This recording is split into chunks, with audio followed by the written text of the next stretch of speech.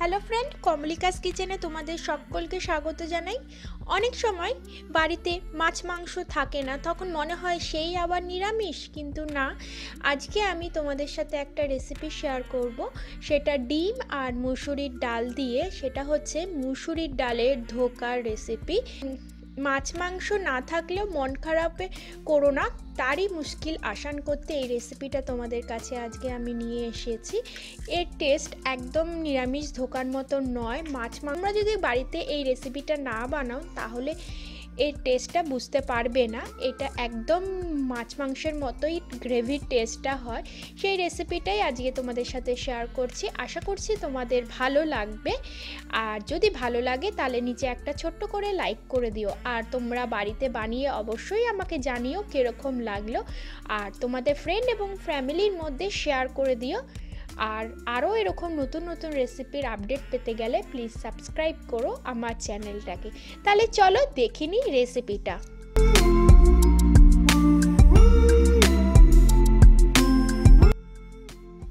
আমি এখানে মুসুরির ডাল নিয়েছি।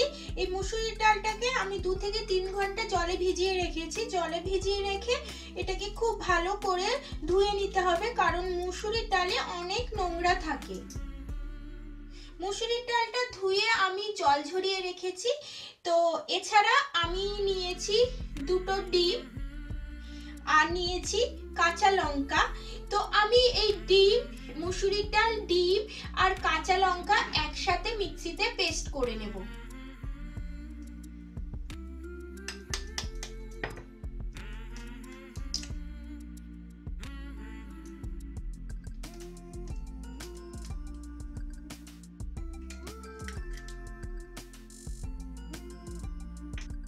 আমি এখানে মিক্সিং জার নিয়েছি। এর মধ্যে এই মুসুরির ডাল, ডিম আর লঙ্কা আমি একসাথে পেস্ট করে নেব।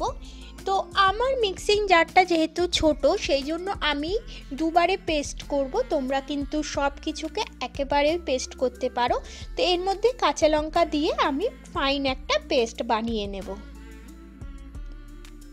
দেখো, মুসুরির ডালের পেস্টটা আমার হয়ে গেছে, তোমাদেরকে দেখাচ্ছি, একদম ফাইন পেস্ট করেছি। এরপর একটা কড়াই নিয়েছি, কড়াইয়ের মধ্যে দিচ্ছি টু টেবিল স্পুন সাদা তেল। তেলটা গরম হয়ে গেলে আমি এর মধ্যে অ্যাড করব আদা আর রসুন বাটা। এক চামচের মতো আদা রসুন বাটা অ্যাড করলাম। রসুন আর আদাটা তেলের মধ্যে কুড়ি সেকেন্ডের মতো একটু নাড়াচাড়া করে নিচ্ছি। এরপর আমি এর মধ্যে যেই মুসুরির ডাল, ডিম আর লঙ্কা বেটে রেখেছিলাম, সেটা অ্যাড করলাম। দিয়ে একটু নাড়ি চাড়িয়ে নিচ্ছি। এর মধ্যে অ্যাড করছি নুন, হলুদের গুঁড়ো আর অ্যাড করছি অল্প জিরের গুঁড়ো। সব কিছু দিয়ে ভালো করে এভাবে নাড়াচাড়া করে নিচ্ছি। গ্যাসটাকে লো ফ্লেমে রেখে এটা কিন্তু নাড়িয়ে চাড়িয়ে নিতে হবে। দেখবে এই মিশ্রণটা যখন শুকিয়ে আসবে, ধোকার যেরকম আমরা করি সেরকম এটা এরকম শুকিয়ে আসবে এবং কড়াই থেকে ছেড়ে ছেড়ে আসবে। তখনই কিন্তু এটা হয়ে যাবে। এটাকে আর বেশি করার দরকার নেই, খুব তাড়াতাড়ি এটা হয়ে যায়।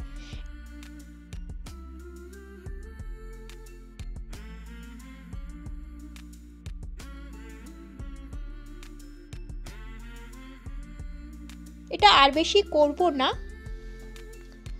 আমি এরপর এটা কড়াই থেকে নামিয়ে নেব।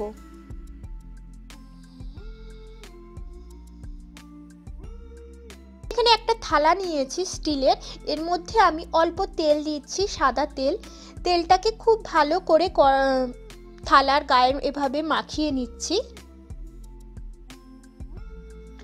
এরপর আমি এর মধ্যে সেই ডালের মিশ্রণটা ঢেলে দেব। একদম গরম গরমই সেটাকে ঢালবো। ঠান্ডা যাতে না হয় সেটা লক্ষ্য রাখবে। আর তোমরা বুঝতেই পারছ এটা ধোয়া উঠছে, সেই জন্য খুবই গরম। দিয়েও করতে পারো কিংবা খুন্তি দিয়ে আমি বলব খুন্তি দিয়ে করা, কারণ খুব গরম আছে। তো খুন্তি দিয়ে আমি এটাকে সাইজ করে নিচ্ছি, সুন্দর করে চারিদিকটা এভাবে চেপে চেপে সমান করে নিচ্ছি। দেখো, একদম গোল শেপে একটা করে নিলাম। এরপর এটাকে ঠান্ডা হতে দেব। যতক্ষণ না পর্যন্ত এটা ঠান্ডা হচ্ছে, এটাকে কিন্তু রেখে দিতে হবে।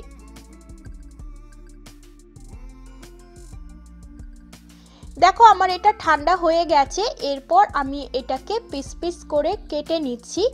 তো যতক্ষণ না ঠান্ডা হচ্ছে, তোমরা এটা কাটতে যাবে না না হলে কিন্তু এরকম সুন্দরভাবে কাটবে না, ভেঙে ভেঙে আসবে। ঠান্ডা হলে এটা চাপ হয়ে বসে বসে যাবে, তারপরে এটা কাটতে সুবিধা হবে।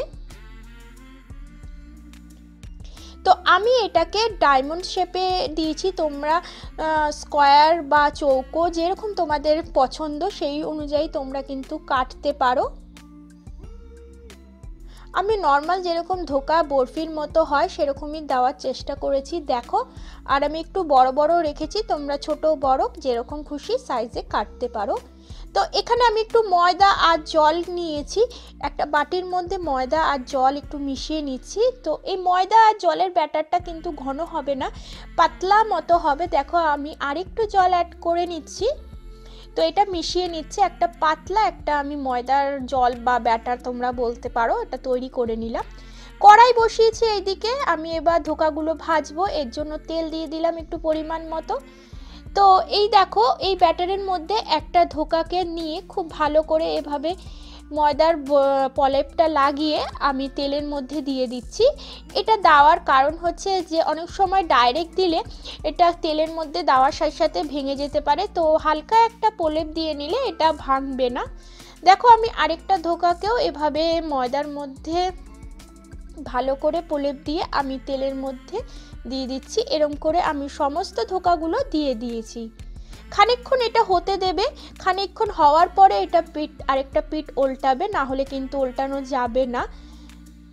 এভাবে আমি মিডিয়াম টু হাই ফ্লেমে করে ধোকাগুলো সমস্ত ভেজে নিয়েছি, আর এটা ধোকাগুলো গ্রেভি না করেও এরকম গরম গরম তোমরা একবার খেয়ে দেখো, অসাধারণ লাগে। আর হ্যাঁ আরেকটা কথা আমি বলতে ভুলে গেছি, আমি এখানে কোনো আলু ব্যবহার করিনি, তোমরা যদি আলু পছন্দ করো, এখানে কিন্তু আলু দিতে পারো। তো ধোকাগুলো আমি তুলে নিচ্ছি, ফ্রাই করা হয়ে গেছে। এরপর ওই তেলে আমি দিচ্ছি তেজপাতা আর দিচ্ছি গোটা জিরে ফোড়নে। ফোড়নটাকে কুড়ি সেকেন্ডের মধ্যে একটু নাড়াচাড়া করে নিচ্ছি। তো এরপর আমি এর মধ্যে অ্যাড করছি পেঁয়াজ বাটা। আমি এখানে একটা মিডিয়াম সাইজের পেঁয়াজ বেটে নিয়েছি মিক্সিতে। তো এই পেঁয়াজ বাটাটা আমি অ্যাড করছি।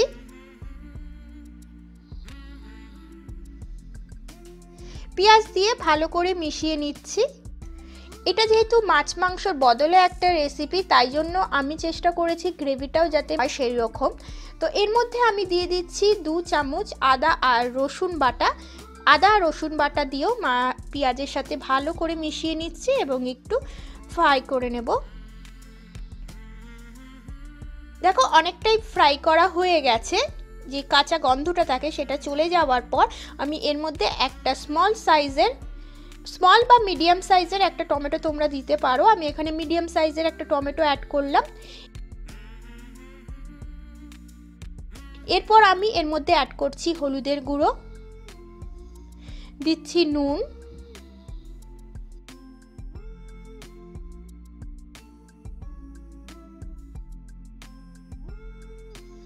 আর একটু জল অ্যাড করব আমি এর মধ্যে।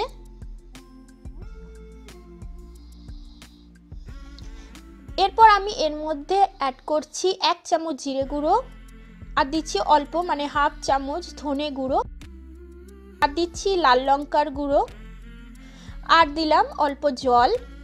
সব কিছু গুঁড়ো মশলা দিয়ে ভালো করে আমি মিশিয়ে নিচ্ছি, আর সব মশলাগুলো কিন্তু খুব ভালো করে কষিয়ে নিতে হবে যতক্ষণ না পর্যন্ত এর তেল ছেড়ে আসছে।